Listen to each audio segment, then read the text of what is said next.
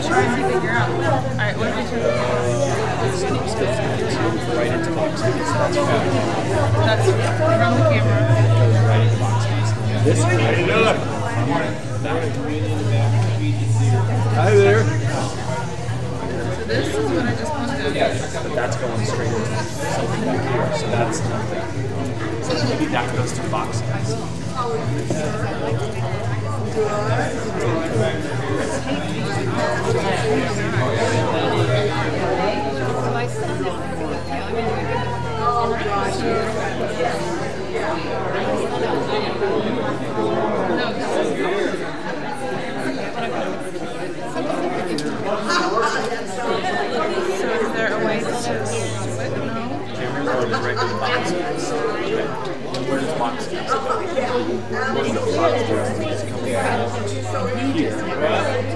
This, what is this for? This is the camera. The camera needs to go into box tickets. Right? Yeah. So what is Or it's something, and they wanted to do it every day.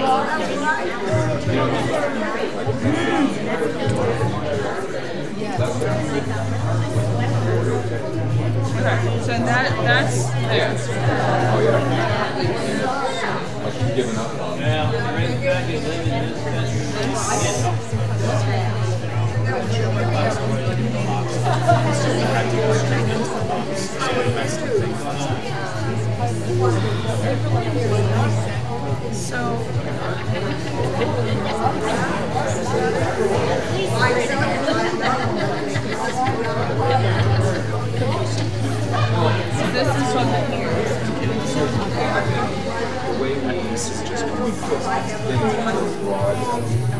I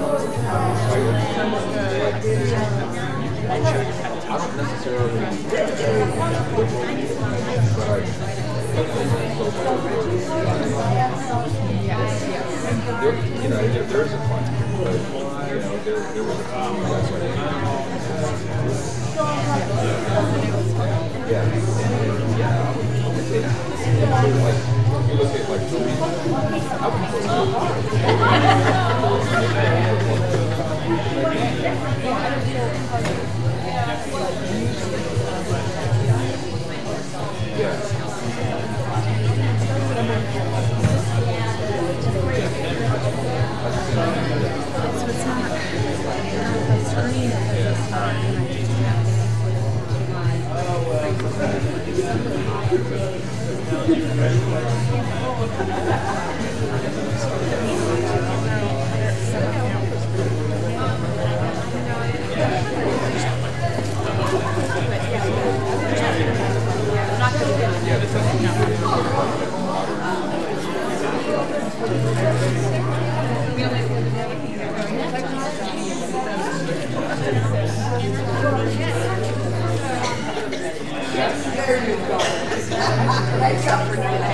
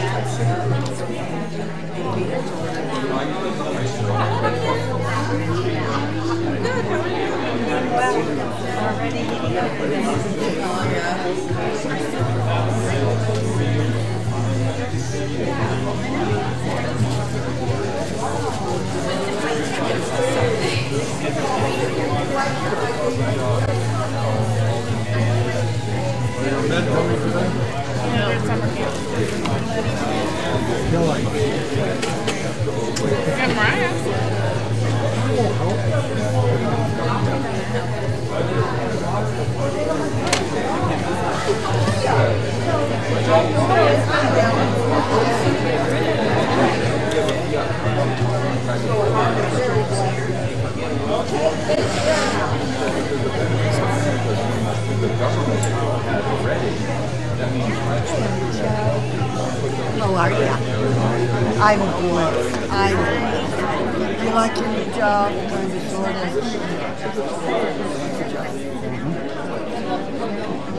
Enough said. Yeah. Okay. Talk to you later. Yeah. Yeah. You like traveling? Oh, yeah. Yeah. Yeah. It is what it is, buddy. Yeah. Unfortunately, we have to do what we gotta do. Take care, hon. Come here.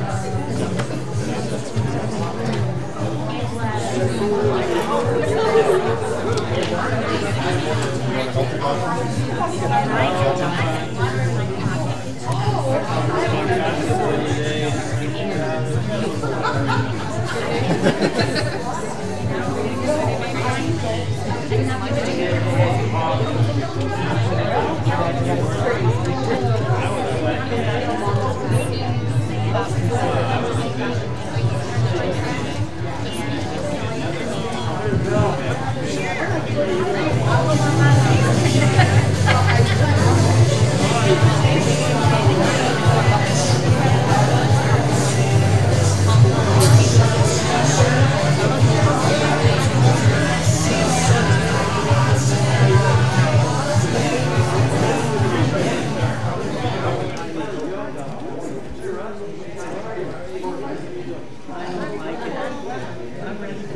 All right, welcome Keystone Community Church. We are happy to get started this morning. Uh, we got a couple quick announcements. Uh, first, if you are visiting with us for the very first time, there are Connect cards on the back of each chair, so we would love for you to fill out that information um, so that we can get in contact with you, let you know a little bit about our church, uh, and how we grow disciples who worship, serve, and share the gospel of Jesus Christ. Uh, we got two events coming up this week. Uh, first, on Saturday at 9:30 a.m. at Jamie's house, right there, uh, we are having a women's tea party. Uh, there will be delectable foods that are going to be absolutely delightful, and so come on out uh, for some fantastic fellowship there. Uh, and then also this Saturday, uh, starting at 10 a.m., is our second serving food distribution. And so if you have any questions, uh, please feel free to contact Frank or Debbie Gossett. Um, that's it for announcements. We are in the dead of summer, so it's hot. We want to uh, keep these announcements short uh, so that we can get worshiping this morning. Um, so if you can go ahead and join me for prayer, uh, we'll get rolling here. Uh, so, Father, we thank you for bringing us together this morning. Um, your beauty and your grace, may that shine in our hearts this morning.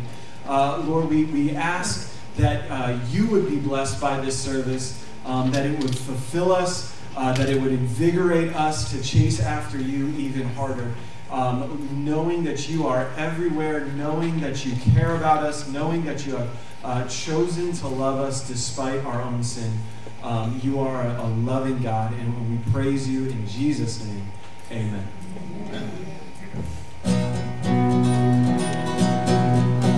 Well, just take a moment and say hello to your neighbor. Did we meet and greet already? Did I miss that? Let's meet and greet.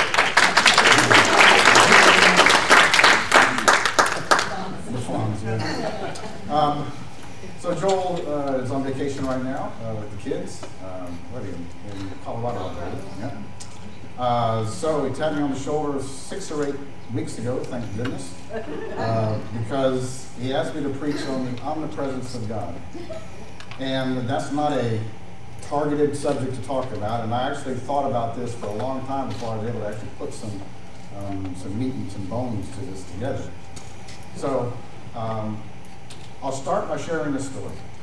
Uh, there was a young man that had come into this church. He came in, he had just a kind of a crumpled old t-shirt up, his hair was kind of unkempt, uh, had some holes in his jeans and some sandals. And he walks down and he sits at the front of the, of the sanctuary and listens to the sermon. The service is over, he gets up, and there, you know, the pastor's back at the back door greeting everybody to go out. And the young man says to the pastor, he says, that was amazing. I, so I really loved that, that sermon. He goes, I think I'm going to come back next week. And the pastor says, well, that's fantastic. He goes, hey, listen, I want you to, to pray this week. And he goes, sure. He goes, I want you to pray about, ask God what you think you should be wearing to church. so the young man goes home. Sure enough, he comes back the next week. Here he comes back down to the, same, the front of the sanctuary again. He's dressed the same. He's got his crumply t-shirt on. Might have been a different t-shirt, jeans, sandals. End of the service happens. He goes over. He's telling to the pastor. He says, "You just knocked it out of the park again, pastor." And he says, "Well, thank you so much." He goes, "By the way, do you have a chance to ask God about what you thought you should wear to church?" He goes, "Oh yeah, I did." And he goes, "Well, what did he say?" Well, he apologized, but he said he'd never been to this church before.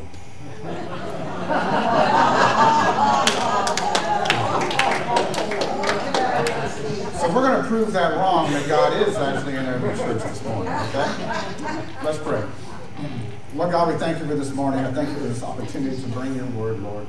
I just ask that you would fill my, my heart and my, my mouth with the words that you would have spoken. I'd ask for the Holy Spirit to be among us and that the congregation be receptive to this message.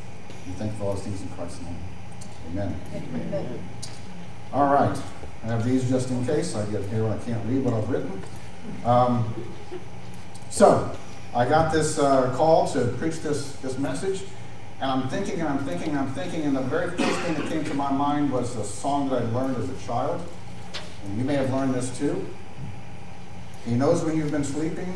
He knows when you're awake. he knows when you've been bad or good, so be good for goodness sake. And I wasn't in Sunday school and I learned that, but that's, that's as close as I could come. So we're going to work through that a little bit this morning. Uh, we're going to start where a lot of places start, uh, just with a definition. So omnipresence, um, according to Merriam-Webster, you're present in all places at all times. And the synonym for that is ubiquitous. It's existing or being everywhere at the same time, constantly encountered. So that's what we're going to talk about this morning is, is God and can God be present everywhere all the time and I think hopefully we with the answer is yes, right?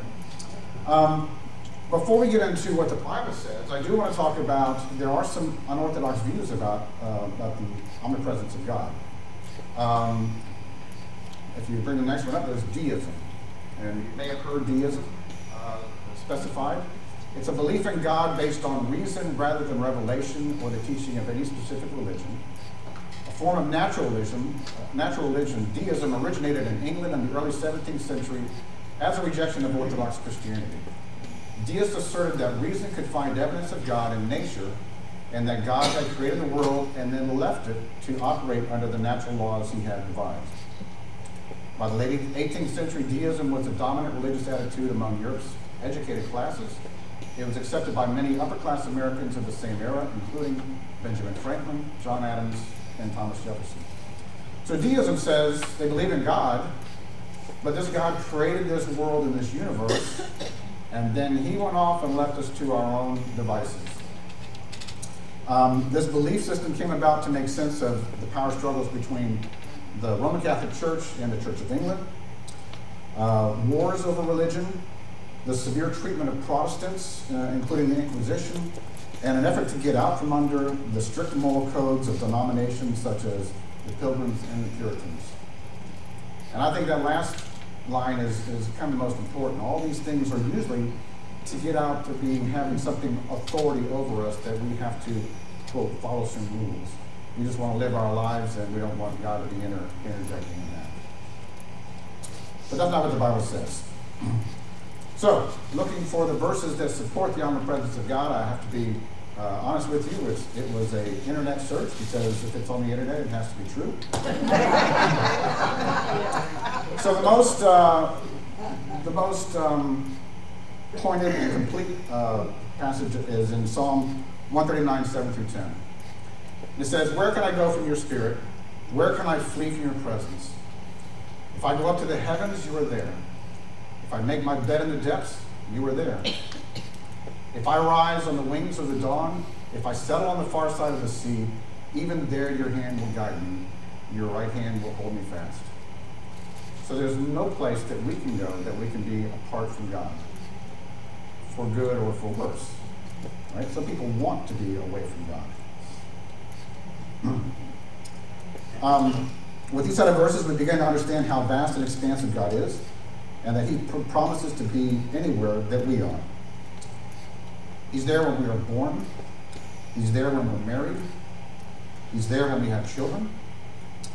He's there when our parents pass away. He's there when we are divorced or widowed. He's there in our abundance and in our poverty. He's there in our good health and in our sickness. And most especially, He's there when we die. He's always there for us. Now, coming back to my initial, uh, initial song, He knows when you've been bad. Job 34, 21 through 22 says, His eyes are on the ways of mortals, He sees their every step. There is no deep shadow, no utter darkness where evildoers can hide. Proverbs 15:3 says, "The eyes of the Lord are everywhere, keeping watch on the wicked and the good." Jeremiah 23:24, "Who can hide in secret places so that I cannot see them?" declares the Lord. "Do I not fill the heaven and the earth?" Hebrews 4:13, "Nothing in all creation is hidden from God's sight. Everything is uncovered and laid bare before the eyes of him to whom we must give account." So on the bad side, he knows when we're bad, right? He knows when we're not doing what we're supposed to be doing. Some biblical examples uh, Adam and Eve. You know, he asked, uh, Who told you that you could eat, this fruit? Or why did you eat this? He knew. This was a rhetorical question, right? He didn't, it's nothing he didn't know. David and Bathsheba, he knew of their sin when it happened. Achan. Maybe you guys don't know the story of Achan, but when the Israelites first came into the promised land, the first place they took was Jericho.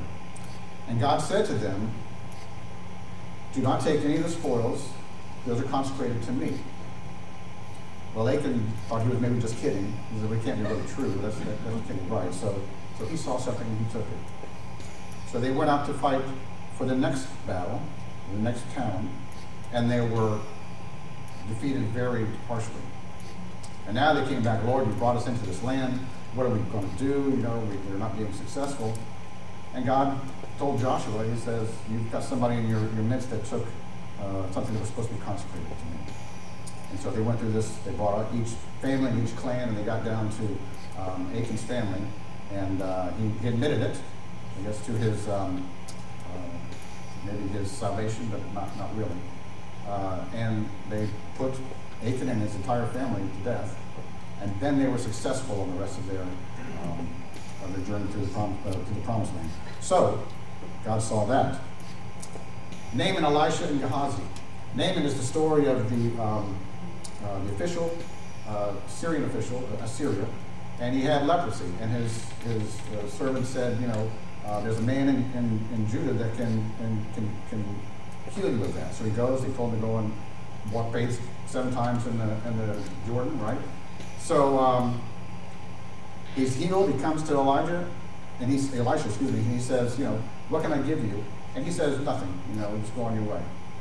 Well, Gehazi runs after him and says, hey, Elisha changed his mind.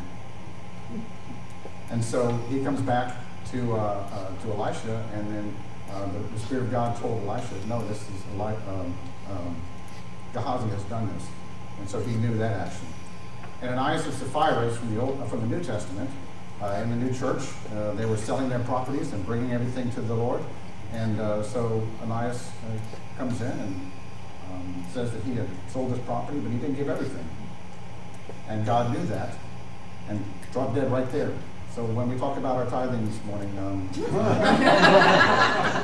the same, same thing happens to Sapphira, right? So, so God saw all this. He was, he was in the midst of all that. Um, because we live, in a fall, we live in a fallen world, we're likely to brush up against evil in some person or, or circumstance. And God is present for all of this. So I, um, I teach, uh, I took a quick little sabbatical this, this, um, uh, this spring, but I teach, a, um, well, I say I facilitate a key group uh, on Monday nights here. And uh, um, my work schedule, I, I, I work at home, I eat lunch at home Monday through Thursday, but on Fridays I always want to go out for lunch. And uh, Kathy was working uh, more um, a while back than she is now. We have lunch together on Fridays, and that's very that's very good. Uh, but I used to um, prepare for my um, my key group study on Friday during that lunch. So I would take my Bible to whatever restaurant I was going to, and I had my study that I was doing. I'm writing out notes and everything. So there's a, a little restaurant called Papa's. Uh, it's a Greek restaurant up in Citrus Park and it was a pretty day. Um, I was sitting outside, and uh, the guy that was kind of cleaning off the tables, uh, he'd gone by a couple times, and he finally stopped back by, and he says, "Hey, I see you're reading your Bible." He goes, uh, "My, um, tell me what the Bible says about this." He says, "My um, brother and sister, uh, well, no, my, my sister and her husband are kind of taking control of our mother's finances. Our mother's not in good health." And he goes, I'm, I'm kind of beside myself. I want to confront them. And he goes, what does the Bible say about that? and uh, this wasn't for me. This was the Holy Spirit comes and says, real quick, vengeance is mine, says the Lord. I say, you leave that up to God. Our job is to love them, and God takes care of everything else. About a month later, I was sitting there doing the same thing, and he came by, and he goes, I got to tell you, I did what you said. Um, I went, and I didn't make a big deal of it. I just, I just made like it was a normal relationship between us. My, our mother has passed away, but the, the finances are being taken care of well, and he says, thank you for your, um, your admonition and your, your, your, um, your suggestions. So, in all these things where God knows when you've been bad, and we know those people might have been bad, just remember, God's going to take care of it. Our job is just to, to love those people through it. But here's the good news. He knows when you've been good. Isaiah 43 2. When you pass through the waters, I will be with you. And when you pass through the rivers, they will not sweep over you. When you walk through the fire, you will not be burned. The flames will not set you ablaze. Matthew 6 6 says, But when you pray, go into your room, close the door, and pray to your Father who is unseen. Then your Father, who sees what is done in secret, will reward you. Matthew 18, 20. For where two or three are gathered in my name, there I am with them. And the next one, uh, I think, is the most poignant. Acts 17, 24 through 27. The God who made the world and everything in it is the Lord of heaven and earth and does not live in temples built by human hands. And he is not served by human hands as if anything needed, as if he needed anything. Rather, he himself gives everyone life and breath and everything else. From one man he made all the nations, that they should inhabit the whole earth. And he marked out their appointed times in history and the boundaries of their lands. And this is an important verse for me. God did this so that they would seek him and perhaps reach out for him and find him, though he is not far from any of us. So in this passage, God wants a relationship with us. He wants us to reach out to him and find him. He's not far from us. Uh, Kathy and I were driving somewhere this week, and um, she said, What do you think it means to be made in God's image? And I said, Well, I think it means that we are separated from the rest of the animal kingdom in some way. Uh, and I think some of the, one of the main ways is, is we, we can create. God was a creator. We create music, we create poetry, um, we create architecture, right? We have that, that ability within us. And I think that's part of God's image. But I think one of the other ways that he made us to be relational. Um, we're searching for relationships. We need relationships. And God wants that relationship with us as well. But unfortunately, too often we are looking for love in all the wrong places. All right, we talked about God. Um, I've I read a lot. Uh, just recently had finished this book, the, the Spurgeon on the Power of Scripture. Charles Spurgeon is, they had about six or seven different uh, script, uh, sermons that he preached.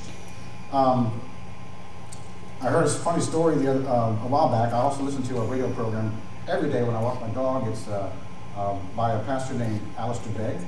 Uh, he's up in Cleveland. He's Scottish.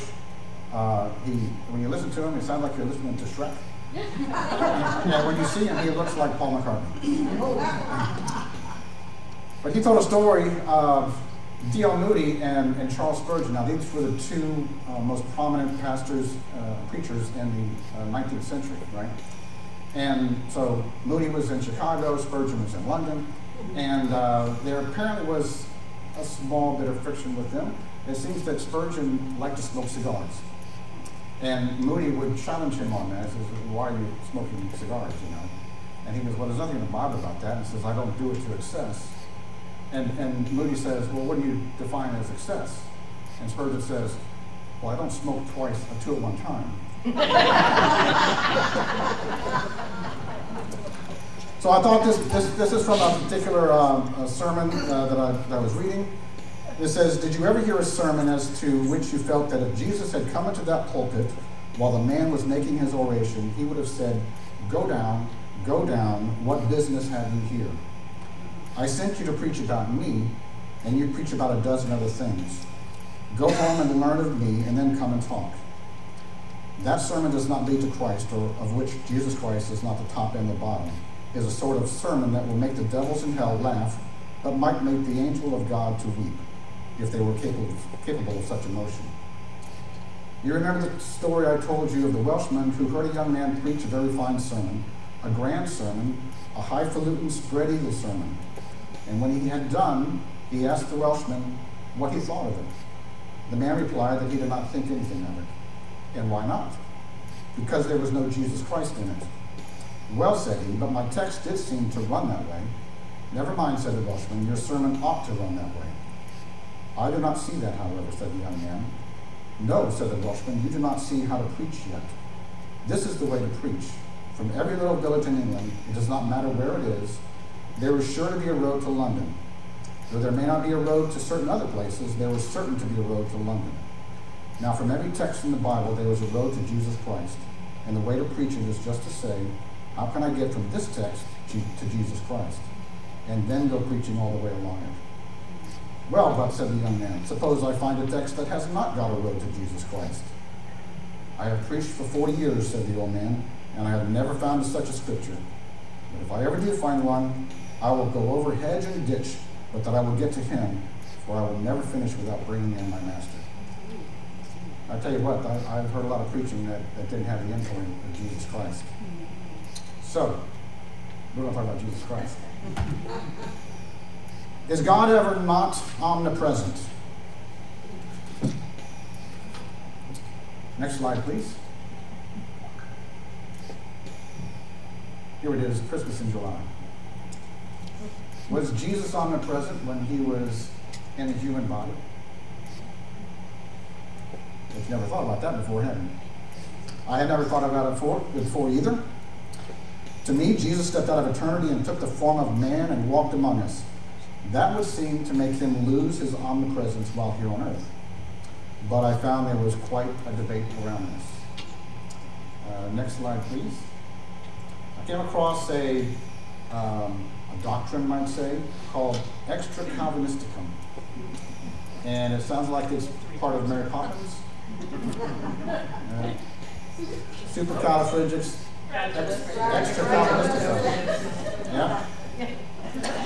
So Calvin stated, the Son of God descended from heaven in such a way that without leaving heaven, he willed to be born in the Virgin's womb, to go about the earth and to hang upon the cross. Yet, he continuously filled the world even as he had done from the beginning.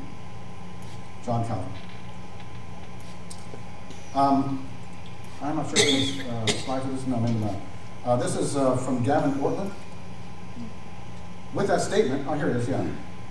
The the manger is both swaddled tightly, yet filling the heavens, clinging to his mother, yet holding every atom in place, crying for comfort, yet sustaining the stars, and sleeping among the donkeys, adored by the angels.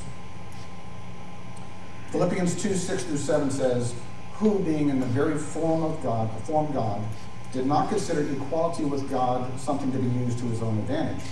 Rather, he made himself nothing by taking the very form of a servant, being made in human likeness. So I'm kind of still on the fence here. I'm still saying, you know what, I think that makes Jesus maybe not omnipresent in some ways. He's still omniscient.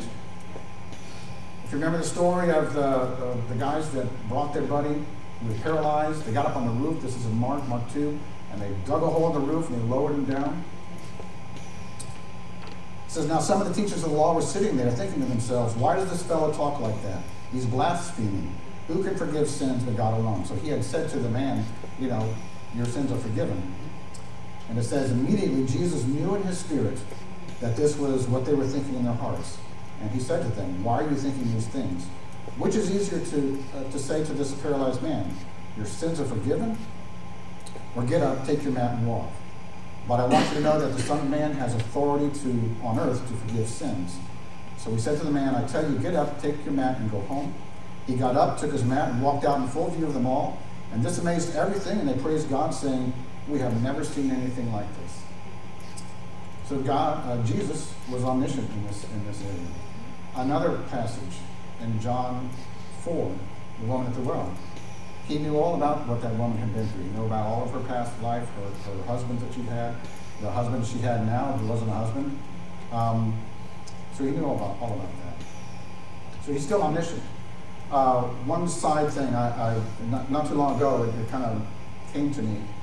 Uh, probably didn't come to me. I probably heard somebody speak about it. But chapter three in John, we have a Pharisee coming to, to Jesus, Nicodemus, right? And uh, he's, he's, coming to find out about God and, and about access to God. Immediately afterward, chapter 4, we have this woman who comes out to the well by herself because she's kind of been discarded by her society. So we have the highly religious person and the not religious at all person both need Jesus. And we all need Jesus, no matter what our state or status is. Um, the truth is, only bad people go to heaven. You believe that? The devil would have us say, only good people go to heaven. But the Bible says there's no one who does good, not even one. So the good news is that Jesus has reached out with an offer of redemption so that we can come into the presence of God forever. So all you bad people out here, you have a chance. All right, was Jesus still omnipotent? Yes, he was still omnipotent. He turned water into wine. He walked on water. He calmed the storm. He healed the blind, the lame, and the lepers. But Jesus was not in multiple places at the same time while he was on earth, physically. Uh, even when he sent his disciples across the Sea of Galilee, he did not simply reappear in the next location. He walked across the Sea of Galilee, okay, that's pretty, pretty amazing, but he still was in his person as he did that, yeah? Uh, Tom Sudamura from New Life Church in Woodlands Hills says, if not human, he could not have died. If not divine, he could not have been our sinless substitute. Only the perfect God man could have saved us through his death. So, what do we make of this? Was Jesus omnipresent or not omnipresent? One of the things that I've learned from Alistair Begg, one of his key phrases is, the main things are the plain things, and the plain things are the main things. So if it's not plain, we really shouldn't be spending too much time on it. Let's focus on the main things that we know that Jesus was here to teach us. All right, we have another God, don't we? The Holy Spirit. Let's talk about the Holy Spirit. We first see the Holy Spirit in Genesis 1 2. Um, go back to that first that slide before. Oh, I did say that. Okay, sorry. Um, Genesis 1 2. Now the earth was formless and empty, darkness was over the surface of the deep, and the Spirit of God was hovering over the waters. So we see the Spirit of, of the Holy Spirit right away in the Scriptures. The Holy Spirit's purpose is to dwell with us and comfort us and help us in our prayers when we don't even know how to pray. The Holy Spirit can give us strength that we did not know we had and comfort where we can find no other comfort. In the Old Testament, the Holy Spirit would go into somebody and come out, and go into somebody else and come out, right? Um, Samson's a good um, example of this. There's others. Um, Elijah um, was one as well. But in the New Testament, because of Christ's sacrifice and, and Jesus sent the Holy Spirit to us, as Christians, when we become Christians, now we have the Holy Spirit is indwelling within us. We're walking around with the Holy Spirit with us at all times. Um, so I, have I've used this, uh, well, first off, the Holy Spirit helps us become more Christ-like, right? And so that process is, the, the $10 word is sanctification. Um, helps us become more Christ-like by initially helping us to turn from our worldly ways, that's repentance, and through Bible study, prayer, worship, fellowship, service, and evangelism, we ultimately become more like Christ. It's a, it's a process, right, that we have to go through, and the Holy Spirit is there to help us. So the last time I preached, I used this passage, and I'm going to use it again because I love this passage. Um, C.S. Lewis uh, remarked on this. He says, Imagine yourself as a living house. God comes to rebuild that house. Right? The Holy Spirit has entered into our lives. At first, perhaps you can understand what He's doing. He's getting the drains right and stopping the leaks in the roof and so on. You knew that those jobs needed doing, and so you're not surprised. But presently, he starts knocking the house about in a way that hurts abominably and does not seem to make any sense. What on earth is he up to? The explanation is that he is building quite a different house from the one you thought of. Throwing out a new wing here, putting on an extra floor there, running up towers, making courtyards. You thought you were being made into a decent little cottage, but he is building a palace. He intends to come and live in it himself. Hopefully, God is transforming you in that way, that you're becoming a palace, moving out all these things that you don't need, uh, edifying the things that, that you do need, and, and making a proper place for the Holy Spirit to reside. What time is it? Because I'm almost done. you know, uh, when I was uh, um, younger at the Baptist church, and the, the, preacher would always come up and take his watch off very beautifully and put it on the, the pulpit, right, so to keep him in line. They never looked at that. All right. So, through God and His omnipresence, uh, omnipresence um, we get these. He's Jehovah Jireh, the Lord our provider. He's Jehovah Rapha, the Lord our healer. He's Jehovah Nissi, the Lord our banner. Jehovah Shalom, the Lord our peace. Jehovah Ra, the Lord our shepherd. Jehovah Sidkenu, the Lord our righteousness. And Jehovah Shammah, the Lord is here. With Jesus, we get something that's relational. He's a brother. We, we are adopted into God's family. He's a friend. What a friend we have in Jesus, yeah? He knew pain and joy. He knew fellowship and aloneness. He knew acceptance and rejection. And he knew love and hate. He's our Savior. He was able to lead a blameless life. He provided the perfect sacrifice, and he reigns in heaven and earth. Revelation 3.20 says, Here I am. I stand at the door and knock. If anyone hears my voice and opens the door, I will come in and eat with that person and they with me. So I referenced the song earlier that Johnny Lee famously sang. And I kind of looked it up. And it's kind of interesting if you look at it from a Christian perspective. He said, this is the chorus, I was looking for love in all the wrong places, looking for love in too many faces, searching their eyes, looking for traces of what I'm dreaming of, hoping to find a friend and a lover, I'll bless the day I discover another heart looking for love. And then link, Let's take it to the bridge. You came knocking on my heart's door. You're everything I've been looking for. Jesus stands at the door and knocks. Anyone opens the door, I'll come in and sup with him. King James Version says. You came knocking on my heart's door. You're everything I've been looking for. Now, the, the chorus is a little different now. No more looking for love in all the wrong places. Looking for love in too many places. Searching your eyes, looking for traces of what I'm dreaming of. Now that I've found a friend and a lover, and I would say a lover of my soul, I bless the day I discovered you, oh you, looking for love. It's amazing what you can find in pop lyrics. Huh? So through the Holy Spirit's omnipresence, He provides comfort, He's our comforter, He's our helper, He's our advocate, and He dwells within each of us, working on building that palace. And one more note. Satan is not omnipresent. Satan can't be everywhere at once, and neither can his demons. But when he comes upon you, you have the power of Jesus Christ to tell him to get behind me. So keep that in mind when next time you feel threatened or um, something out of your control. Just, just remember that Jesus is omnipresent in that regard. Right? So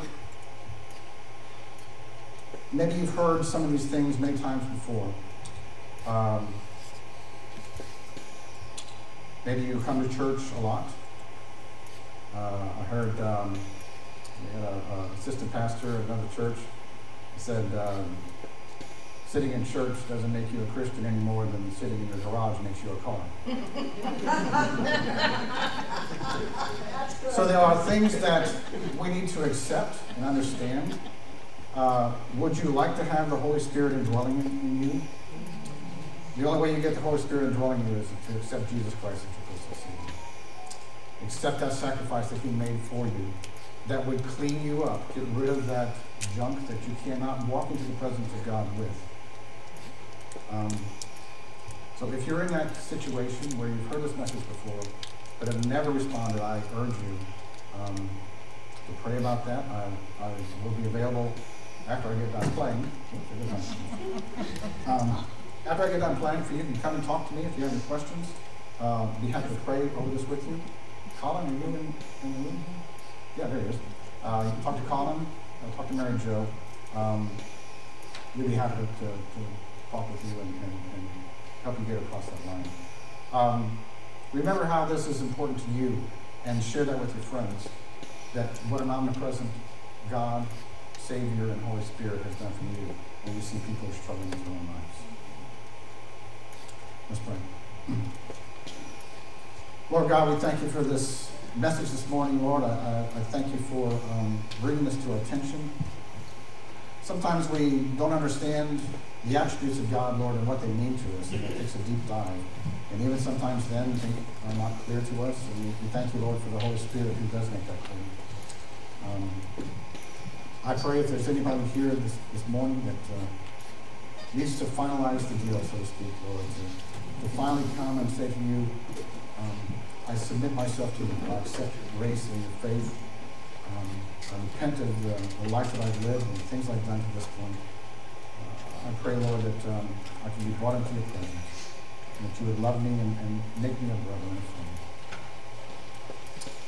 I ask, Lord, that as we, we hear these in, in, our church, in our services, Lord, that we take them to heart and, and spread this good news. We're all bad people, Lord, and we all need a Savior. And that we can just people would see that light into us and come to us. We thank you, Lord, for the service and, and for the praise that we had this morning. In Christ we pray. Amen. So we come now to the time of giving, and since I usually get to do that, I'll do that as well. Um, I, and now that I have the bully pulpit, um, I'm just going to make a, a couple comments. Uh, I served for um, nine years as the um, the board chair of this church from, from the very beginning, so I've been in the business side of this church for a long time. Uh, if you guys are watching the giving versus the budget, you can see we're, we're not anywhere near it. Um, there was an amazing event happened that some of you may not be aware of. Uh, the, the summer before COVID hit, that Duke Energy came in and uh, offered to buy uh, rights to uh, part of our property and put up some, uh, some poles, electric poles. And through God's um, amazing interjection in, and uh, our negotiating efforts, uh, Duke us $450,000 which we tithed right away. We gave $45,000 away to the ministries that we, that we work on. And I'll tell you what, uh, God being omniscient, He saw this pandemic coming, and He saw that we were going to need this money if we were going to stay here. Um, so, my, in my opinion, God wants a church on this corner, and right now, we're the church that He wants to be here. So we're able to supplement our, our shortfall of uh, the funds that we're, we're giving on a weekly basis. And we can go for a long time this way, but it's not sustainable. Um, God has a plan for us around our finances and our giving. Um, so I would, I would just ask that you, you look at that, pray about that.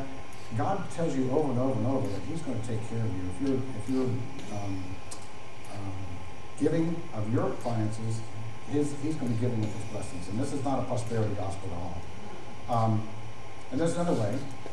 If we have some more people in this in this congregation, then the giving will go up as well. So my, my two requests are pray about your own giving and pray about who can you invite to this church, not just because of what they can give, but from what they can get from our Savior Jesus Christ. So let's pray for our, our offering this morning. Lord, we thank you for everything that you've given to us. Uh, we thank you, Lord, for your provision. And the greatest provision we thank you for is your Son, Jesus Christ. I pray, Lord, that um, we would be that active person, that, that light on the hill, Lord, that uh, people would see us and come to us and ask us where our light comes from, and that we can share Jesus Christ with them. I pray, Lord, for a um, uh, that you would control all of our, our lives, uh, including our finances, Lord, and give us the, the, the will and security to, to step up in faith and give when we didn't think we could. And we know, the Lord, that you don't need our money, Lord, but, uh, but uh, that you would uh, need us to be giving people in all of our areas of life. I, I, I, thank you, Lord, for the people that are here this morning. I ask you to bless the givers and to bless these uh, gifts. In Christ's name we pray. Amen.